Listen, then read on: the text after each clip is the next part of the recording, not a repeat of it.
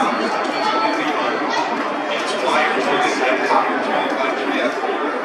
donated thanks to Caleb Hamilton and his first